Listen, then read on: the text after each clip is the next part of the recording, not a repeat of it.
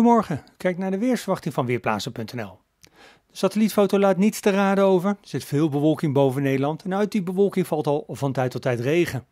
Boven Noord-Frankrijk zagen we opklaringen, die komen wel onze kant op, dus we gaan de zon later vanochtend ook af en toe zien. Dat alles gaat dan samen met die afwisseling met buien. Temperatuur aan het einde van de ochtend 15, 16 graden, vanmiddag 18 à 19 graden. Ook dan van tijd tot tijd zon, maar zeker ook buien en er kan een klap onweer bij zitten. De wind neemt toe. Aan het einde van de middag staat de windkracht 6 aan zee. En dat staat er ook vanavond nog.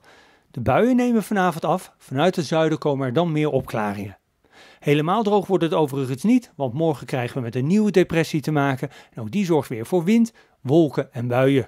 Heel lokaal misschien nog een klap onweer. Meeste neerslag valt in het westen en noordwesten en daar ook de meeste wind. Windkracht 7, misschien windkracht 8, hard tot stormachtig. Woensdag neemt de wind weer wat gas terug. Opnieuw enkele buien, maar zeker ook lange droge periodes met van tijd tot tijd zon. En donderdag zien we de wind dan weer toenemen. Dan kan die aan zee weer windkracht 6 à 7 worden. En ook dan buien. En dat geldt trouwens ook voor vrijdag. Ik wens u heel veel sterkte deze week. Het wordt wisselvallig weer. Ik ben Michiel Severin van Weerplaza.